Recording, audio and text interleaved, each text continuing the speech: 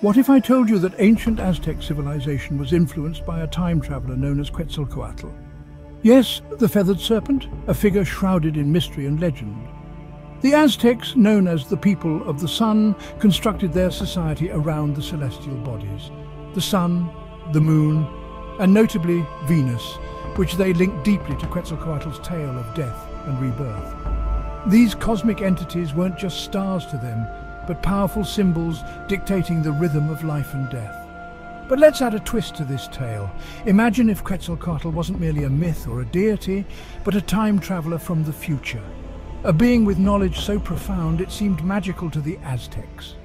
He was described as fair-skinned, light-haired and a bearded figure who taught them language, architecture and medicine, promising to return on his birthday in the future.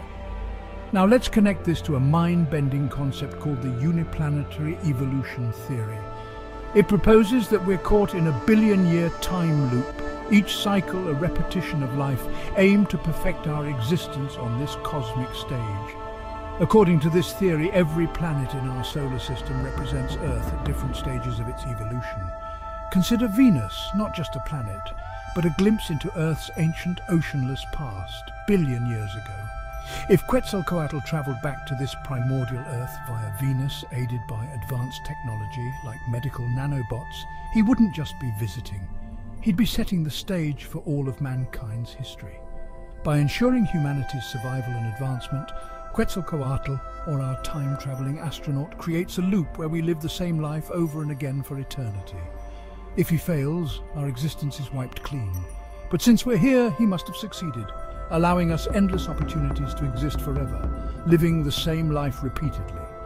This eternal life cycle means that when you die, you're instantly reborn, experiencing life anew. There's no death, only an endless continuity of existence, a heaven right here on Earth, shaped by our actions and lives. The ancient Mayans believed we've lived this life four times already.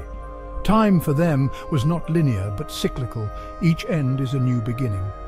And in this eternal loop, the legend of Quetzalcoatl, the time traveller, continues to spark our quest for knowledge and survival. So what do you think? Was Quetzalcoatl a visitor from another time, here to guide humanity's progress?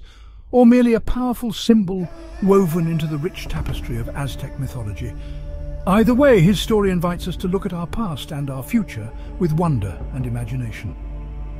If you are a passionate explorer of the mysteries in our cosmos, and eager to uncover new perspectives, you've come to the right place.